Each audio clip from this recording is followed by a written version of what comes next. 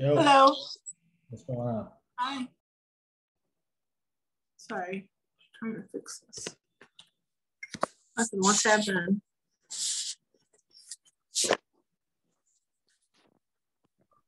Nada.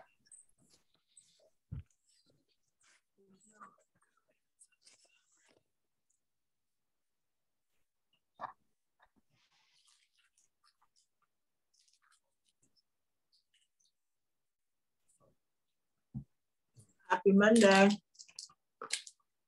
Yep. Monday fun day. Interested on the title today. Yeah. It's on a new series. It's titled Devoted. And then obviously, you know, we have a main title, and then there's always each week has a subtitle. But Yeah.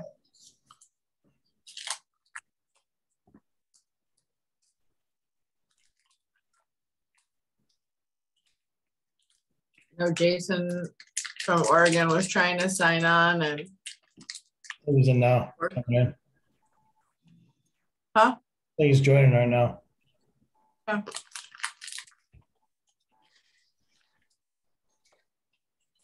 Hi. Yo, hi.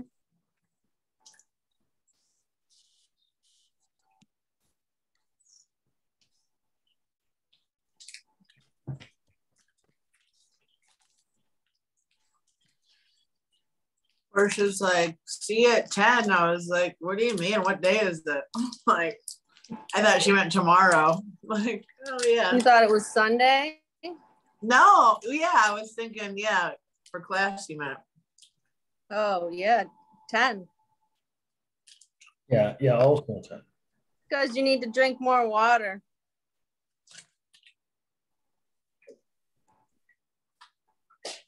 see.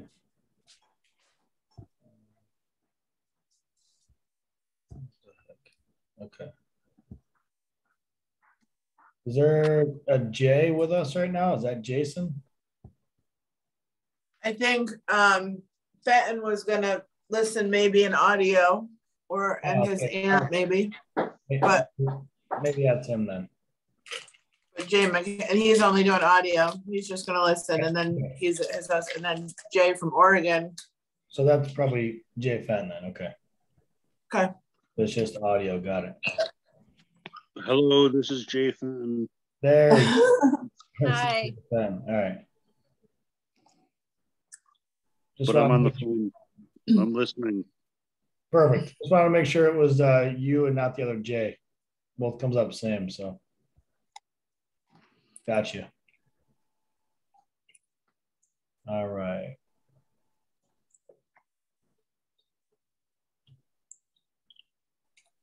We lose you, Amber? No, I'm here. I was just Oh, checking. All right, all good. Uh, did we notice, did anybody's life change today? Anything significant happen in your life? Do you feel like it was, you were missing something today? Anybody? Do you know what I'm talking about? Today was a very significant day in the entire world. Um, nobody missing anything, huh? Missing anything? You didn't miss anything or Did the sun explode? What happened?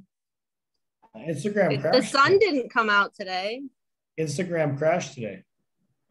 Oh no, didn't Oh, even yeah, yeah. Well, yeah. Complete, complete crash. didn't go on it today. There you Me go. neither. So I here's, didn't the go on great, it today. here's the great news. No, you didn't miss anything.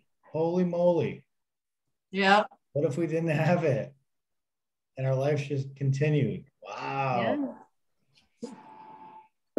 Wow. Yeah, it'd be like when we were 13. It was awesome, just playing in your grandma's backyard in the pear tree. Right.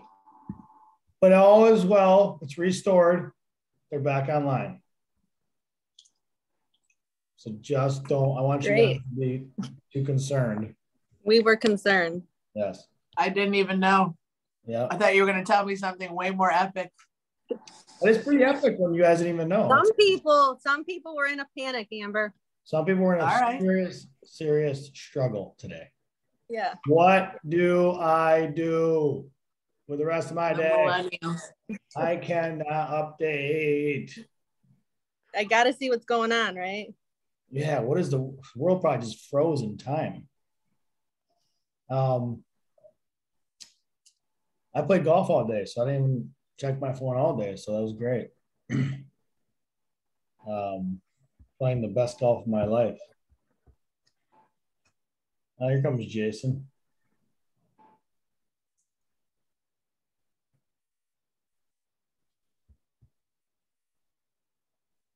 He's getting dialed in. There he is. Just connecting the audio now.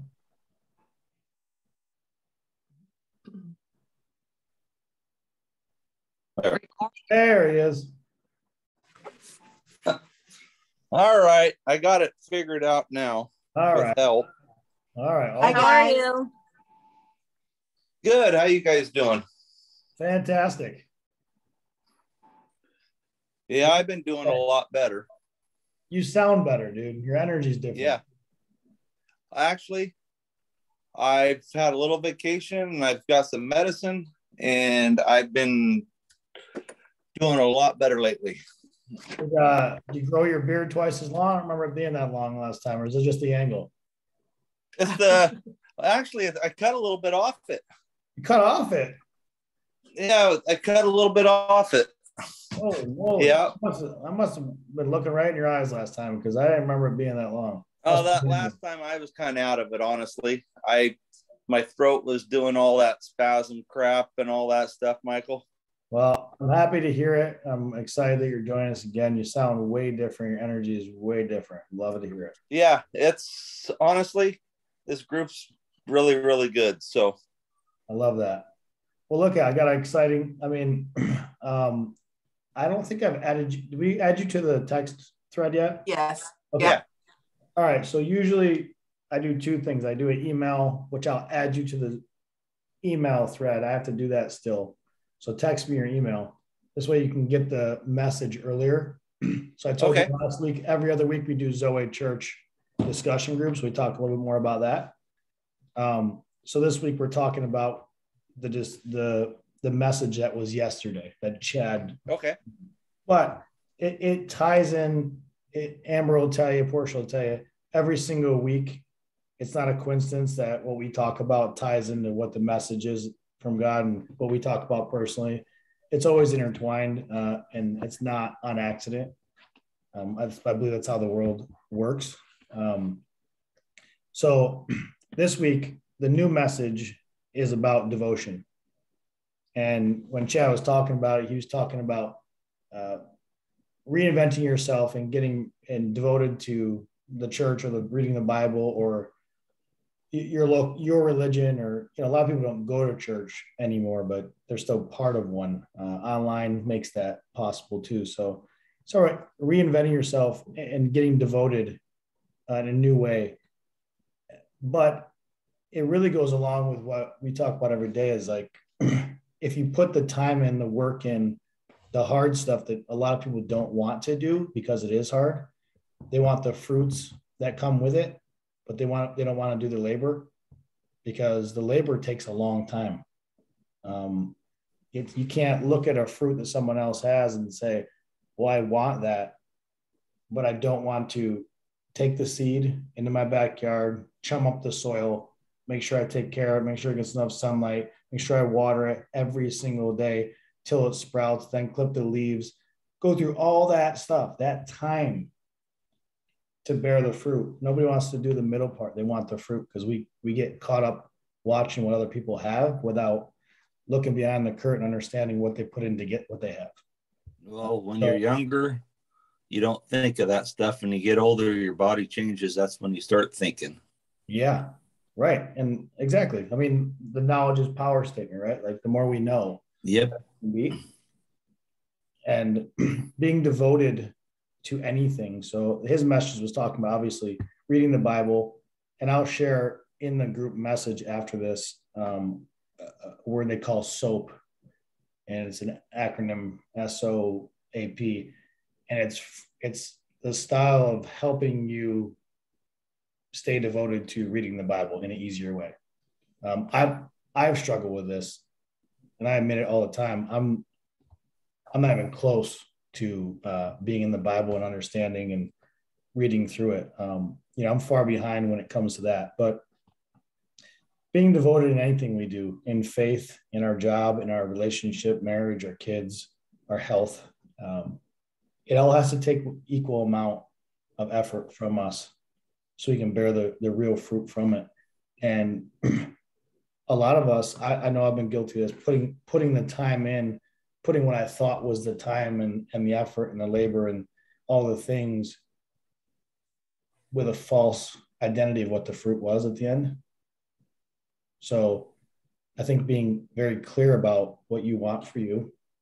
Um, I think Portia and I talked about this in Sedona, maybe last week, and we touched on it too about, um, you know, putting the time into something. I'm sorry, hold on. Sorry, I almost lost the computer there. Putting the time into something um, that's that's not for us, right? So like we like to give. Amber is a giver. Portia is the same way. I like to do a lot for other people, and sometimes I'm not turning that same effort onto myself. Well, just like this weekend, I I've kind of turned a leaf. I'm gonna I went on that honor flight, and I'm gonna do that twice a year. And I this time I was the honor or the guardian for my dad, and now I told my wife, "This you ought to do this. This is such a give back," and she gives back in a lot of other ways. And uh, but I don't do that a lot. And I said, you know what? I think I found this. So I'm going to join the honor honor flight group, and I I'm going to pay the thousand dollars every six months. I can. And it's so.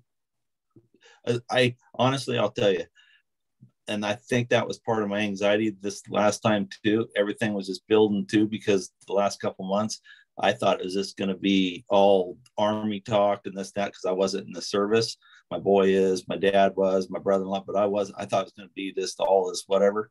But all them old guys, I got along so good with them.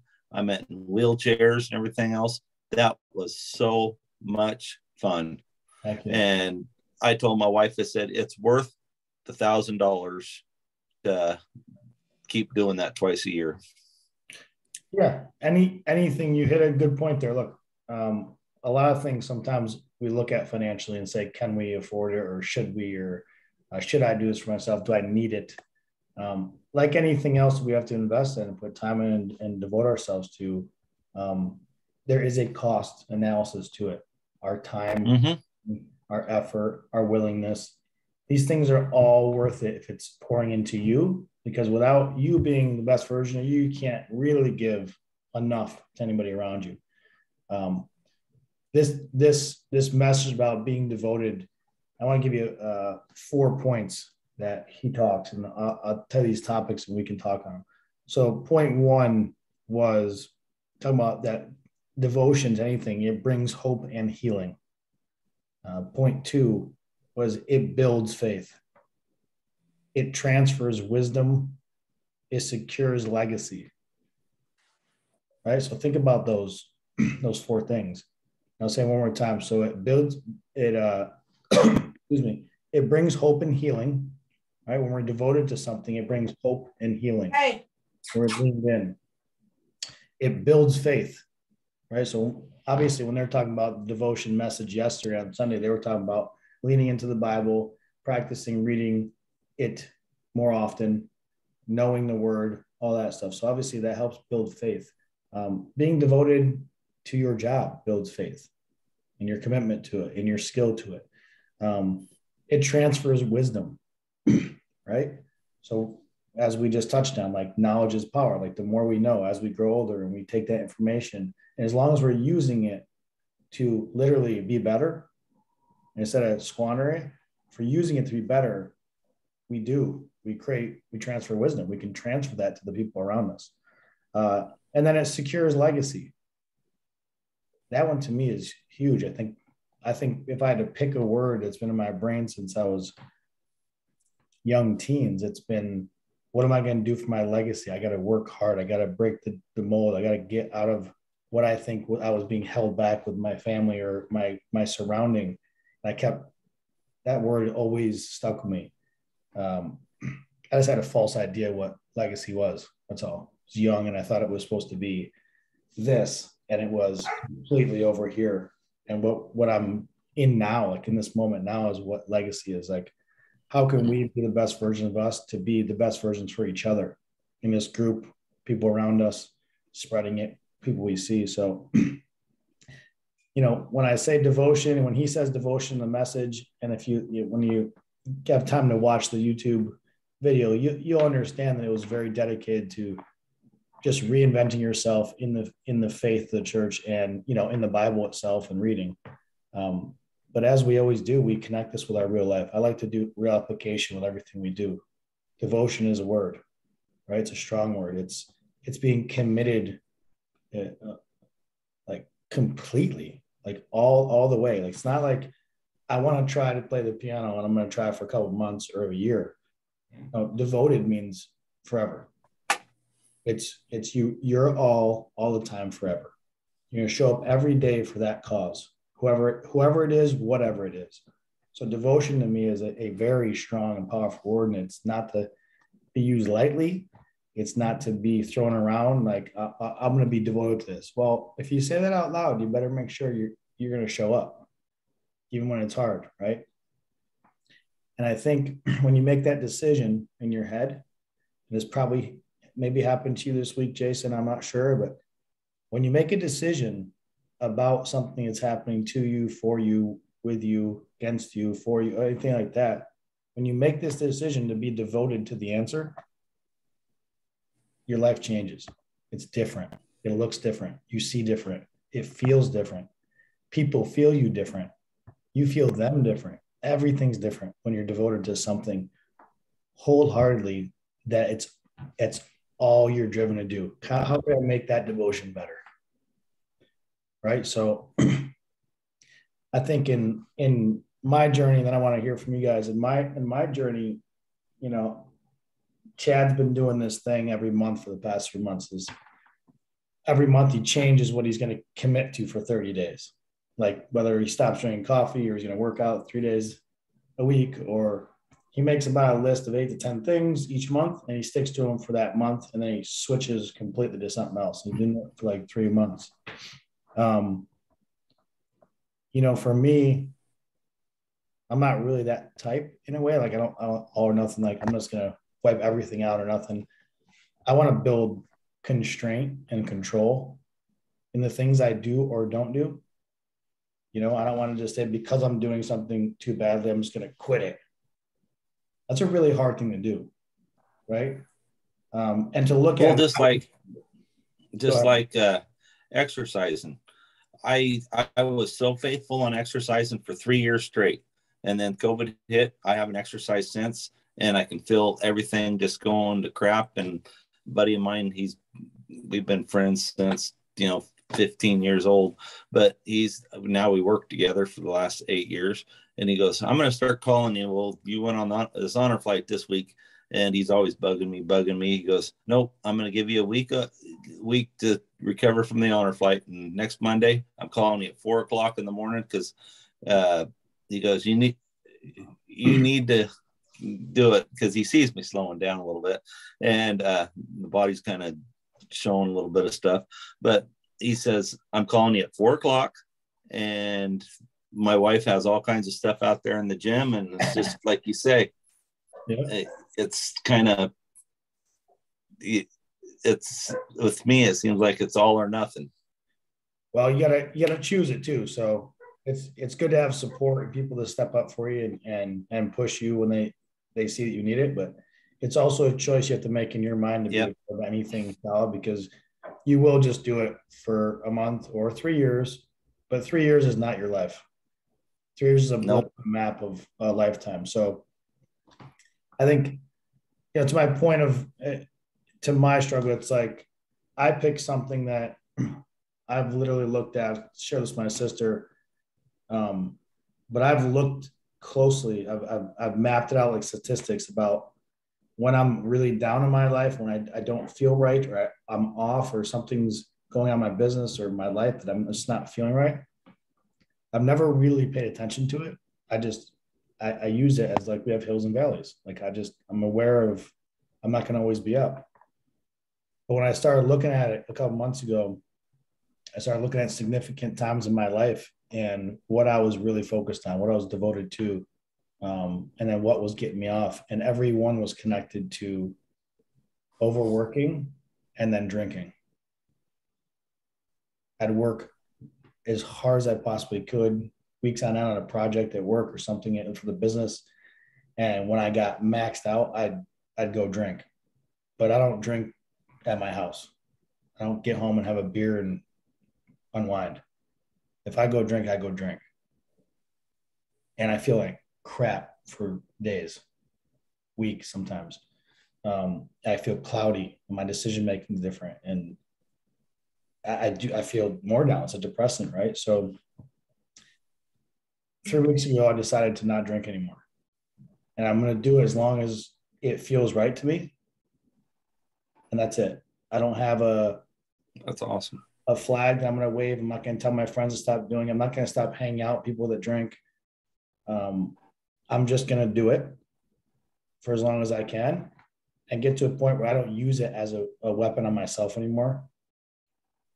That if I want to have a drink at dinner or something's going on or an event and I just want to have a drink because I do enjoy wine or a glass tequila, but like I don't want to go and use it as a weapon on myself. So for me, my devotion at the moment is going to be on two things. One, the ongoing thing is this this this what we're doing this group us this connect group you guys these people we have in there is is my life i mean i wait for mondays right but on top of that my devotion to good drinking has more to do with my clarity of thought i want to show up the best i can for myself every day and then not not give my all to everything else i'm doing so anybody have a um, they want to share on any of the, their four points or, or anything on this topic. Anybody want to share something that uh, is personal on Portia, Amber? One, can you just repeat the four points quickly? Yeah. So the real first quick, one. Real quickly is, is devotion. devotion brings being devoted to something. It brings hope and healing. It builds faith. It's a uh, sorry. It builds faith. It transfers wisdom and it secures legacy.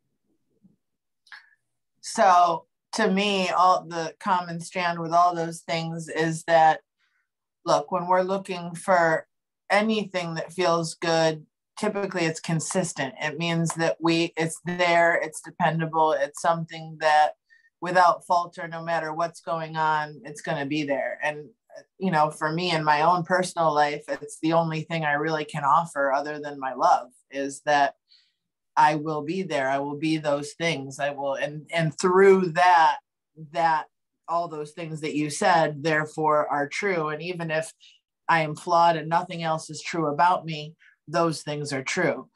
Um, and and two, for whatever reason, it brought up um, just organically. Portia and I talked for quite a long time today, on and off, a couple times, and um, we were talking about um, whether I, I just kind of you know organically moved into this direction without our even you know um, contriving but we were talking about how like the fear on the other side of devotion so when we truly do devote to something or um you know we get comfortable in whatever our daily is or whatever our lifestyle is or whatever we create to pad put padding around us from the outside world so that we can somehow you know we're special people that show up for this group. We know that. We know the things that we have in common the common denominators because we are at least looking. We know we're flawed. We're constantly trying to grow. We're trying to educate ourselves in things.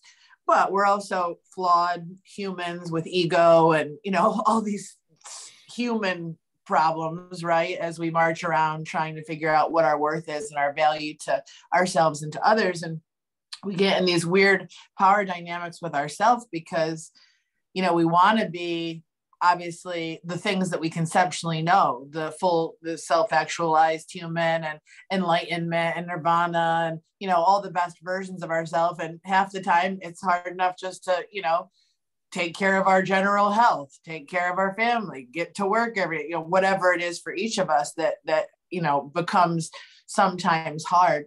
Um but then the other side of that is like what if i was willing to sacrifice everything all of my human desires you know love or the american dream or the family or you know whatever our desires are from the flesh or from being a human to fully actualize why am I so scared, or why are any of us so scared if we do have indeed the power to heal ourselves and others, or all these things that we know through science is quantified that is possible, but we'd have to give up everything we know. And that's the scary dark place of the void, right? That we talk about all the time, too, like the jumping off point. And so, how do we straddle a life where ultimately we're searching for some kind of nirvana, some kind of enlightenment, some kind of something behind the veil that proves that our instincts are right and that we're on the right path,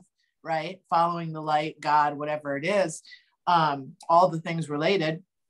And also live out our human experience, which I think God also wanted us to do somehow, because why would we feel all this weird all these things and all these pulls in every single direction and just kind of what that um, conceptually means for all of us you know and, and walking that line in between not sure if i yeah. kept y'all with me on that but it, no, it was yeah, an interesting it was an interesting thing that came up like wow we'd have to forfeit everything that we know and have created in order to really go to a whole place of do I want to be a monk on, a, on an island alone, even if I live in nirvana bliss every moment for the rest of my life. But that means I don't get any friends or conversations or exploring or new knowledge or learning or jumping in the water or, you know, so uh, it's so. I think. I feel this like Amber. I, what does God want for us? In two years, I can retire two and a half years and I'll only be 49 and because my job's 30 years or 58 at tier you know, PERS. And uh and I'll be 49. I started when I was 19 and I'm I want to retire, but I'm kind of pretty scared. Yeah, I, right. I really am.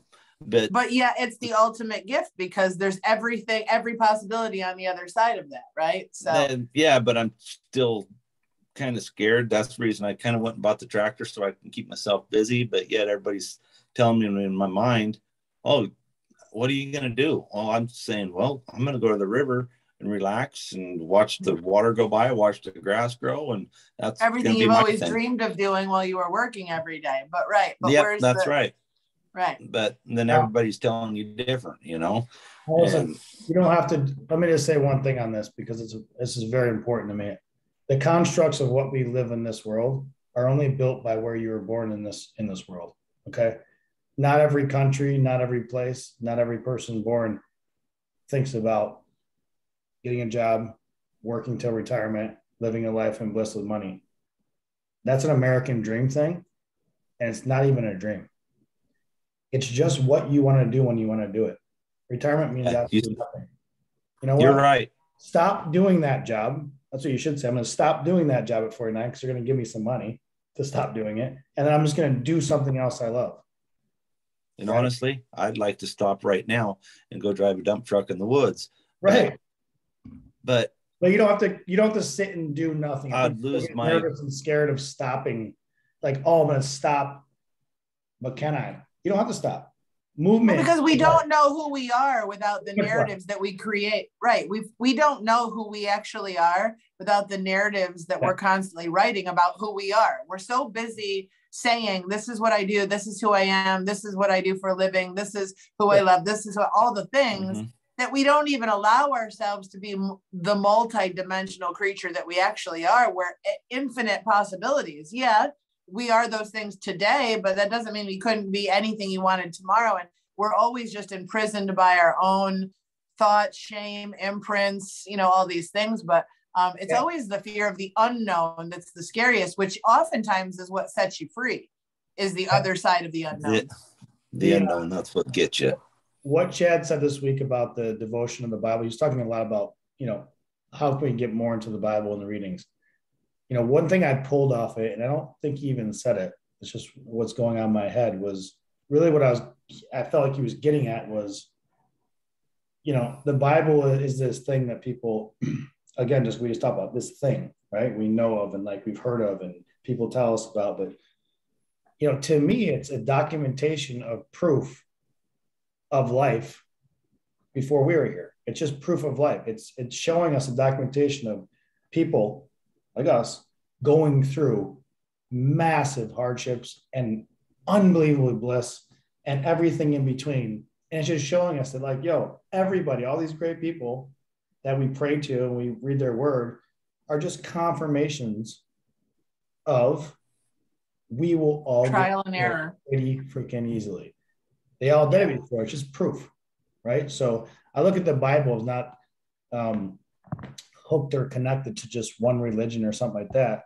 I'm more looking at it like, look, this is a documentation along the way of proof for us so that we can live our lives much easier. Somebody before us took that knowledge and said, I want to transfer wisdom so they don't have it as hard as I did because I didn't have that before that.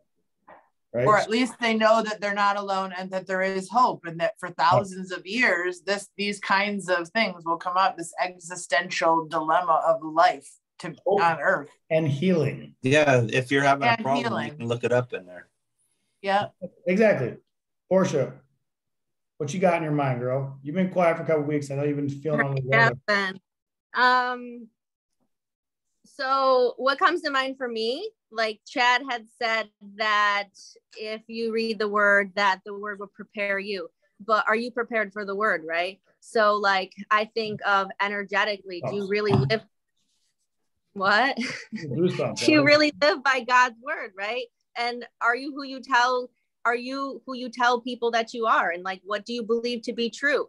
Is that how you live behind the scenes when nobody is around, right? Because that's the most important thing. I think environmentally, what does your everyday environment look like? Like you were talking about that you're going to cut out drinking. Well, that's like part of your environment, right? Is it adding to you? Is it taking away? Is it negative? Is it positive? Is it distracting? Um, like order. Order is actually like being in alignment with spirit or God, and meaning like more things can come into your life when the environment is in a better flow because mentally you're in a better flow. Mhm. Like, so you have more, you don't have that extra chaos on you that's like mentally draining you. And then mentally, again, what do you even believe to be true? What are your beliefs? Are you mentally strong? And what are the words that are coming out of your mouth? What are you saying? What words are you speaking to yourself? And what words are you speaking to others? Like Chad spoke about this. Are you are your words giving life or are they taking life? You know, like those words every day are spells that you're casting out. And so what are your beliefs not only that you believe around the word, but how much good of God's word and of God's work do you think that you can even handle in your life? Like, how worthy do you feel for what He could possibly bring into your life? And how much do you think you even deserve? And then I think, like, physically, how are you showing up every day, not just for other people, but how are you showing up for yourself? How are you treating yourself? How are you treating your own body here? Because you're going to need this. Like, when the word, I think of like the word is like, God's going to take you and be like, okay, here's what your next move is. Like, this is what I'm opening up for you. Like, this is going to be where you taking it to the next level. And so, you helping to bring you into your best self. So, if you physically aren't there, is your body going to be able to take you where you need to go? Like, Right. are you going to be able to handle that? Are you strong enough? And I feel like you can't fully, and again, it's not about perfection because I don't think that God he he doesn't favor the perfect, he favors the bold, right? But to be ready and be able to receive what God has for you and those things like you have to have some kind of alignment and you have to be living in some kind of congruency and I think that that's what God is going to favor. He's going to favor the congruency, the commitment and the dedication. I, I love I love that. This is that was a great uh, cap on what he talked about, especially the word and and and speaking it, what you're saying. But I love what you said about, um, you know, having being prepared for what God has for you. You know, many times we we want the things for ourselves. We want these things ahead. We have a clear idea what we want, or even visions, or we are taking care of ourselves and we want these things. But uh, to to Portia's point, it's like it's like uh, being accepted in the Olympics. It's a very rare thing. It's every four years. Being accepted. Once you're accepted, does not mean you stop training because you're already in. God needs your your your tool to be ready for what He's giving you as a gift. Right. So sometimes He's giving it to you every day. It's showing up. You're just not even looking at it. One, we talk about that all the time. Are your eyes even open to the gifts and, and the words He's putting in front of you and the signs and the symbols? Because he's putting what he wants for you in front of you and he knows is better, but you're asking for something else that has nothing to do with him. That's why sometimes we block it. But even when we are ready, maybe we are enlightened, we're, we're, we're ready to listen, we're ready in a good way. We have to, then when we're ready and he gives us the gift and we see it, the work ain't over. Your, your utensil, which is you, of course, just talked about you, your body, your soul, your spirit, all your stuff if it's not ready, it doesn't matter if he sets it down on the table for you.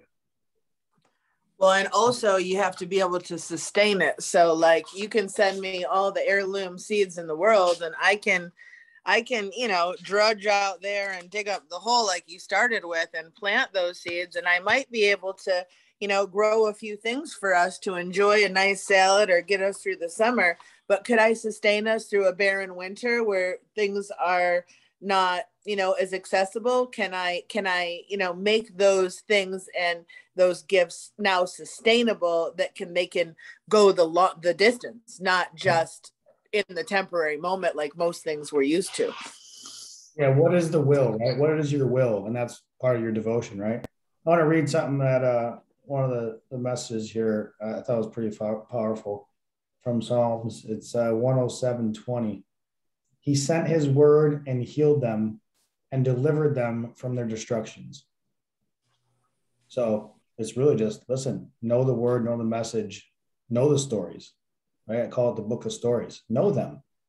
To know them is to understand that there's nothing that's ever happened in your life that already hasn't happened. That's the only powerful thing. That's a real powerful thing that got me back into like the Bible, the church, was to understand that I thought it was like a religion thing, and I, I backed away from it for so many years because I thought it was this like we tell you what to do thing. like when I actually picked that up and read stories, it's a book of stories. It's like it's like confirmation, like yo, you're gonna be all good. It's like it's all good. Like it's it's there for us. It's it's helping us um, be less destructive to ourselves because it's, it's there's nothing that we're going through today, no matter how bad it feels in the moment. Um, that hasn't already happened to humans for hundreds of years before us. During tougher times with much less right, right. Um, and look we're talking again we always tell us we're talking from this group that the, the people that join this group are usually ready to be here. We, we speak kind of the same language or connect in a certain way. Um, we, we've had some people in and out of this group that weren't you know? Portia knows that Amber's been here since the beginning of Portia. We've had people in this group that were on for a little while and then it, it wasn't they weren't ready. You know the message isn't for them and and not to sound, sound cynical at all but really if i'm a statistics guy i'm a math guy i'm a numbers guy if you look at statistics of the world there's a lot more hurt going on uh, internally with people than there is this. That's why i want to grow this thing. That's why zoe wants to grow connect groups. There's probably 30 of them now online. There's all different groups from discussion to sport to marriage. Well, he says there's going to be a, a big outpouring before he it, before he comes. Yeah, and maybe it's starting to. Yeah, dude. I mean, look, I went to this thing last year in Atlanta, in the Carrier Dome. Most people ever had in there for anything, including football games, and it was for a church of Louis Giglio down there at, at Passion, and it was they opened the top, the sun shined in right on him while he was doing a sermon. It was unbelievable, like what was happening in this place. I, I was my mind was being blown. the New year is going into the year of COVID. And he even talked about if the time is coming, we're going to shed things in our lives and get back to the basics and all these things. And then COVID hit, and I, it blew my mind because it talks about what you're just saying. Sometimes, Yeah. we cleansed when we need to be cleansed. This world needs to be cleansed. Big things happen to show us. the guys that I work with, because you know, construction workers, I mean, it's whatever, loggers and construction workers. And I even I even talk sometimes I shouldn't, but I anymore, I just talk about God. I don't care. And you know what? They they're listening. And now they Yeah. even start talking. Don't be scared of it, Jason. Lean into it. That's what I've been doing. Into it. And Yeah, I don't what- care anymore. We're coming A up. lighthouse, a lighthouse couple seconds, I continues to shine, period. Uh-huh. That's, We're about to get cut off here. So I want to tell you guys, one, I love you, appreciate you. We're doing it every Monday, always. I'm gonna send you some the notes in this and the soap that the thing I was telling you about reading in. It's amazing. Let's continue Let's Add more people to it. Let's keep growing this thing because I think it's And if I if I didn't can't